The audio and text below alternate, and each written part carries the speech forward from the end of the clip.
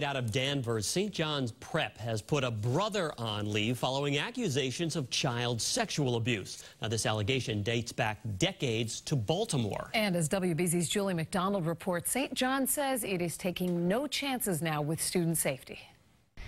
The alleged abuse did not happen here, nor does it involve anyone else connected to the St. John's Prep community. But brother Bob Flaherty did serve here for many years in the classroom, on the athletic fields, and during summer programs. The challenge when you're in leadership is you have to celebrate the good things, but you also have to own uh, the challenges. Brother Robert Bob Flaherty has been placed on leave and is no longer on the Danvers campus. He's been a computer science teacher and coach at St. John's Prep for 16 years. But the alleged abuse is said to have occurred in the mid 80s in another state. We were committed as soon as we found out to, you know, to, to make sure that our community was aware of what's happening and also to take the necessary steps to you know remove brother from this time of service here and, and, working with the Xaverian brothers. The allegation has been reported to Baltimore police and that state attorney is now investigating. What's important for us is to be upfront about what did happen and continue our commitment to educating ourselves, educating our faculty about what's out there to help us prevent this type of